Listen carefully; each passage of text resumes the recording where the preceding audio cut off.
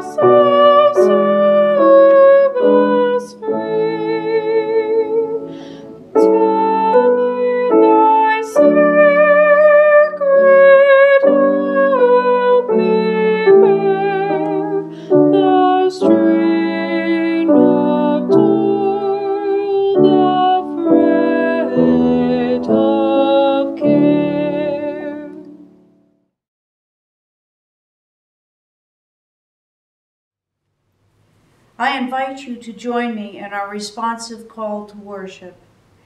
This comes from Psalm 40.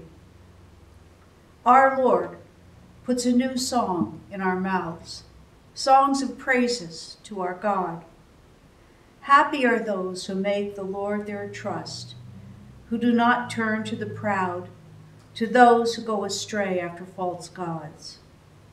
You have multiplied, O Lord our God, your wondrous deeds, and your thoughts towards us. None can compare with you.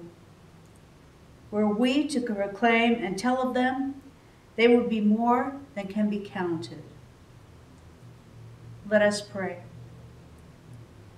Almighty and everlasting God, you are beyond the grasp of our highest thought, but within the reach of our frailest trust. Come in the beauty of this day and reveal yourself to us. Enrich us out of the heritage of seers and scholars and saints into whose faith and labors we have entered. And quicken us to new insights of our time, that we may be possessors of the truth of many yesterdays, that we may be partakers of your thoughts for today, and creators with you of a better tomorrow. We pray in Jesus' name the prayer he taught his disciples. Our Father, who art in heaven, hallowed be thy name. Thy kingdom come, thy will be done on earth as it is in heaven. Give us this day our daily bread, and forgive us our debts as we forgive our debtors. Lead us not into temptation, but deliver us from evil. For thine is the kingdom and the power and the glory forever. Amen.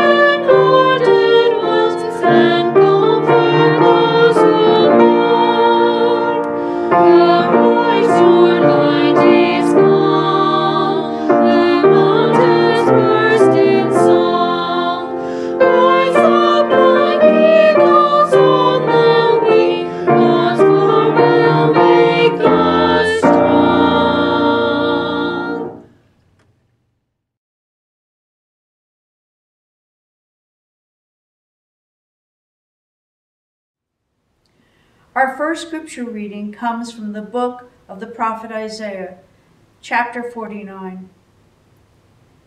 Listen to me, O coastlands. Pay attention, you peoples from far away. The Lord called me before I was born. While I was in my mother's womb, He named me. He made my mouth like a sharp sword. In the shadow of His hand, He hid me.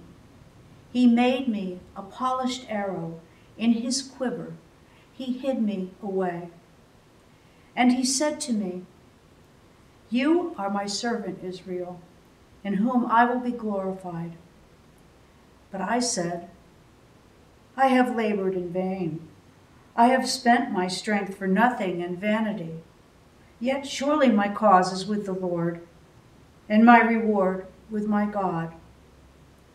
And now the Lord says, Who formed me in the womb to be his servant, to bring Jacob back to him, and that Israel might be gathered to him, for I am honored in the sight of the Lord and my God has become my strength. He says, It is too light a thing that you should be my servant, and to raise up the tribes of Jacob, and to restore the survivors of Israel. I will give you as a light to the nations, that my salvation may reach to the end of the earth. Thus says the Lord, Redeemer of Israel and his Holy One, to one deeply despised, abhorred by the nations, the slave of rulers. Kings shall see and stand up, princes, and they shall prostrate themselves. Because of the Lord, who is faithful, the Holy One of Israel, who has chosen you.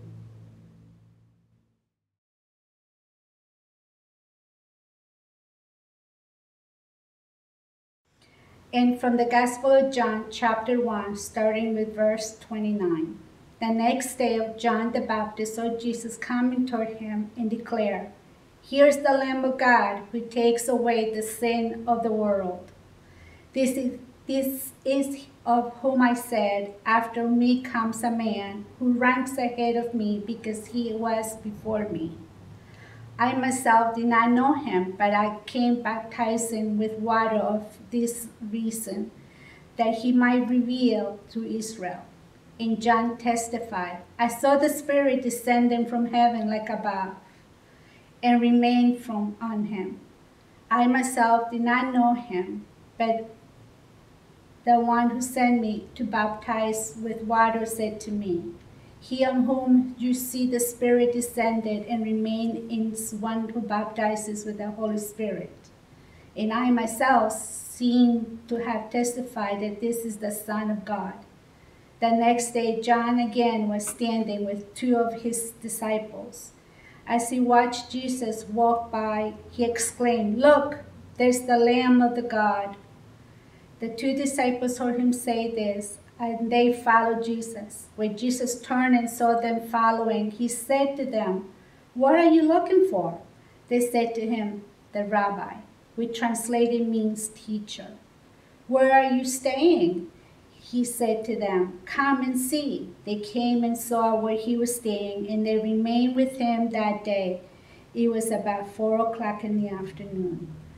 One of them who heard John speak and followed him was Andrew Simon Peter's brother.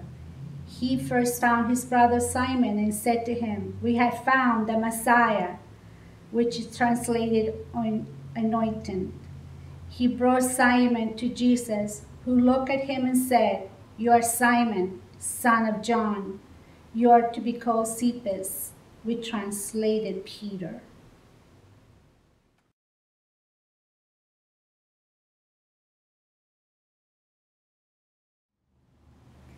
From Paul's second letter to the Corinthians So if anyone is in Christ, there's a new creation. Everything old has passed away. See, everything has become new. Or from the book of Revelation See, I am making all things new. Or from 2 Peter We wait for new heavens and a new earth. Or from Colossians being clothed in a new self. The New Testament is, is all about becoming new, about new beginnings. And these passages could be joined by lots more telling us that we are new in Christ, calling us to new lives as Christian disciples. Now, new lives often bring us new names. When our country holds elections every four years, the leadership of our country usually changes names. The president is different. The political party in charge is often different. We had the Roosevelt years, the Kennedy era, the Reagan years, all of them different. The different names calling to our minds changes in mood, in culture, in trends. Our national identity and national purpose shifts a bit as the presidencies change. Taking a new name has always been an important way of revealing new information about a person's role or identity. People change their names for all kinds of reasons. When they get married, join a religious order, when they're adopted, do a gender transition. We also demonstrate changes in our lives when we add letters to the back of our names MD, PhD, Rev, RN. Earning those letters means taking on the identities of doctor, professor, pastor, nurse. This is in addition to whatever other titles might already define who we are mother, father, daughter, brother, the letters, the rules we take on, the roles we take on or are given because of our birth may or may not have that much to do with who we really are. Take the wily name changer of the Old Testament, Jacob, for example. He was famous, or maybe infamous, for his ability to take on new identities. He was the almost firstborn born grabbing the heel of his twin, Esau. Jacob, meaning heel clutcher. Maturing into an ambitious young man with his mother's help, he tricked his brother out of Esau's birthright and then temporarily took on Esau's name and characteristics to fool their father into giving him the older son's blessing. And then when he'd gotten what he thought he wanted most, the birthright and the blessing, he had to flee for his life. Later in his life, on his way back to the land of Canaan, after years of working for his uncle Laban and accumulating wives and children and herds and flocks, Jacob encounters his mysterious midnight wrestling partner. And they wrestle all night and in the morning, when the stranger wants to leave, Jacob hangs on, insisting on a blessing from him. He doesn't really get the blessing, but he gets a new name instead. His name had been Jacob, heel clutcher, but from now on it will be Israel, God clutcher, or one who strives with God. On that very night when Jacob thought he was returning in triumph home to Canaan, bringing with him all the, family and worldly goods he had worked for years to accumulate, on that very night, Jacob gets his name changed, exposing his, his real identity. He had thought he had arrived, he was ready to go forward in his life in triumph, the big man, and then all night he struggled with that stranger, perhaps an angel. Anyway, someone sent from God. And he emerged in the morning having arrived. But arrived at what? He arrived at the capacity to strive, the ability to struggle. The new blessing he wins from an angelic stranger is the identity of a person who will not let go a struggler, a striver. As the sun rises, Jacob limps away. And yet he's exuberant. He has arrived at striving. He has arrived at his identity. And he has a new name to show for it. Simon, Jesus' disciple, as we hear about him in the Gospel of John, arrives in the same place when Jesus renames him Cephas, or Peter, the rock. As we know, and Peter himself no doubt was painfully aware, he was a long way from being the stalwart, dependable rock at this point in his life. So, why does Jesus declare this disciple, who's about as solid as quicksand, to be his rock? Because it's a name to strive for, to wrestle with, to become. It's only after Jesus' crucifixion and resurrection that Peter begins to really become his new name. And even as he stood firm and preached and suffered and proclaimed and remained a solid foundation for the new young church, he knew he still had a few sandy, soggy corners, some soft spots, flaky bits.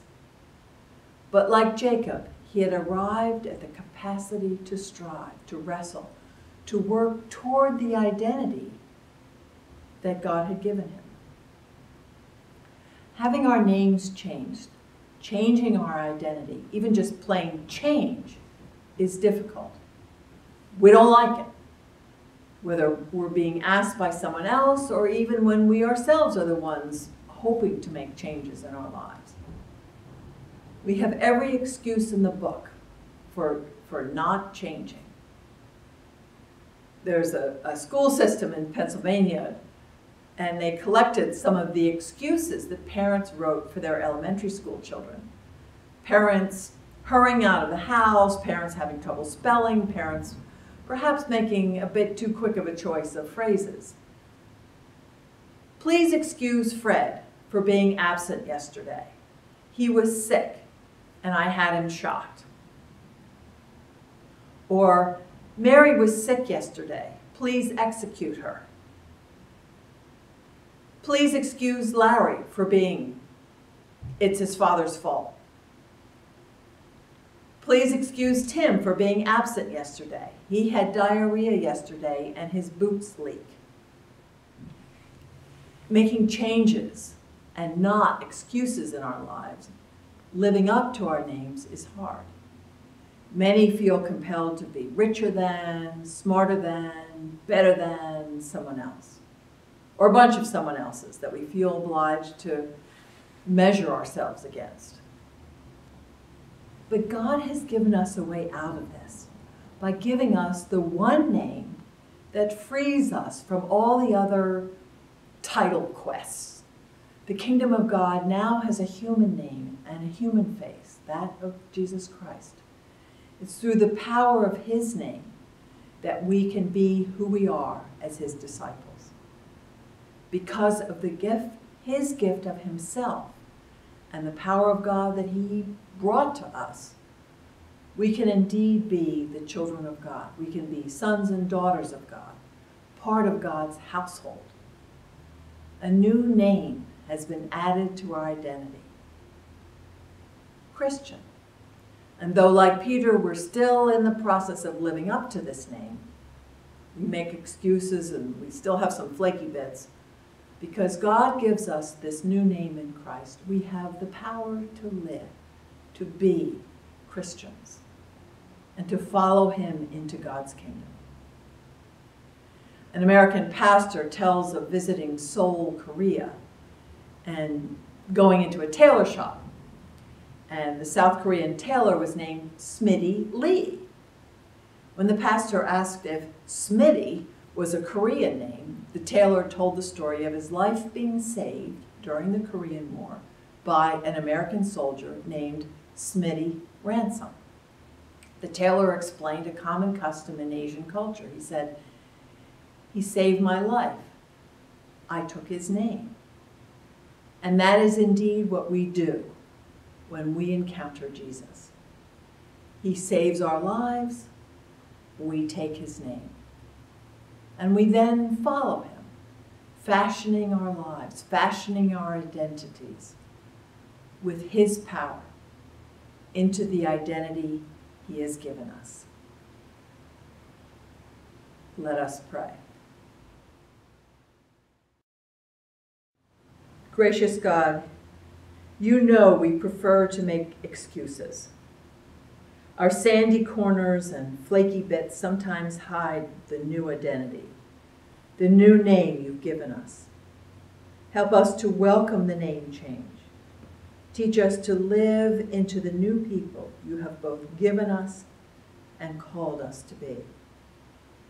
In the name of the one who gives us this new name, Jesus the Christ. Amen.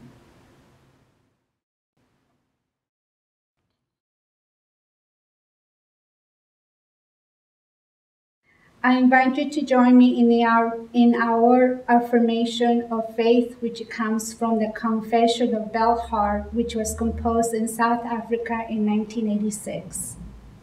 We believe that God has entrusted the church with the message of reconciliation in, in and out through Jesus Christ, that the church is called to be the salt of the earth and the light of the world, that the church is called blessed because it is a peacemaker that the church is witnessed both by word and by deed to the new heaven and the new earth in which righteousness dwells. We believe that God's living, giving word and spirit has conquered the powers of sin and death, and therefore also of reconciliation and hatred, bitterness, and enmity, that God's life giving word and spirit will enable the church to live in a new obedience which can open new possibilities of life for society and the world.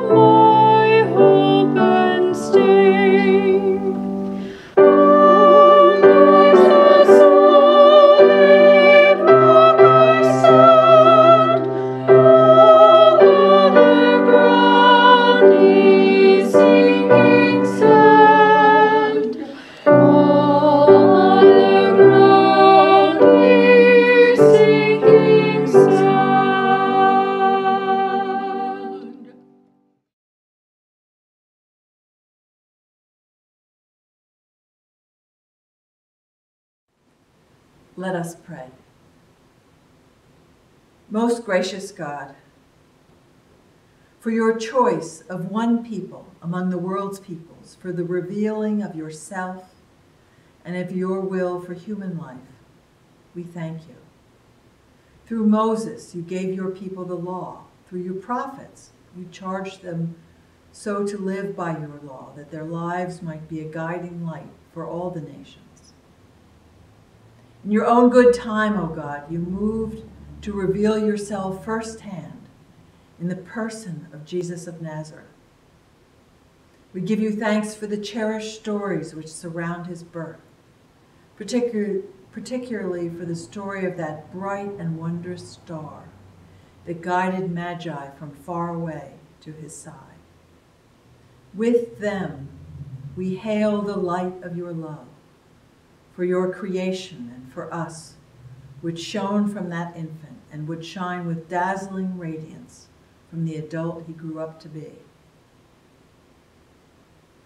We thank you for expanding your circle of witnesses to include beyond his people all those who find in him the light of the world, for creating a new people, a worldwide community of his disciples, the church. We pray for the church for that strange, richly diverse company of women and men who found in your divine Son a fresh start for human history and an unquenchable source of light. Help us, O God, to let the light of Christ shine from us, that we may be sources of light for others who may stumble about in ignorance or anxiety, self destruction, hatred, or any other form of darkness.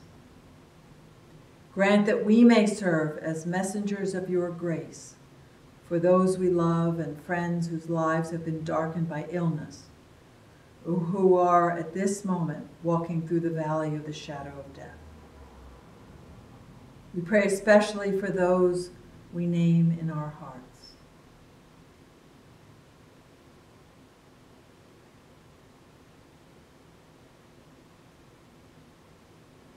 Give them your healing.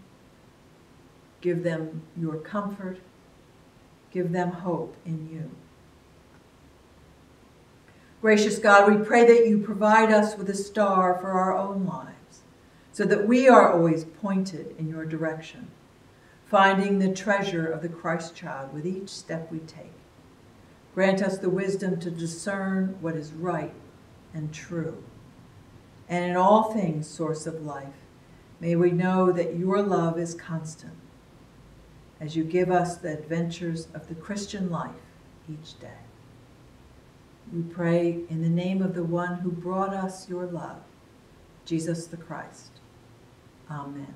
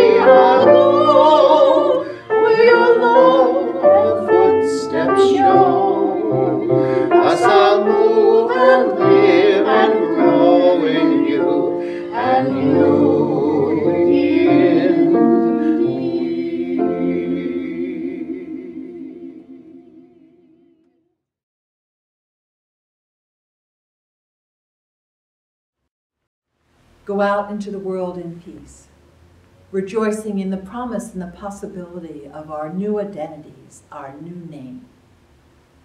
And may the grace of our Lord Jesus Christ, the love of God, and the fellowship of the Holy Spirit be with us all, now and forever.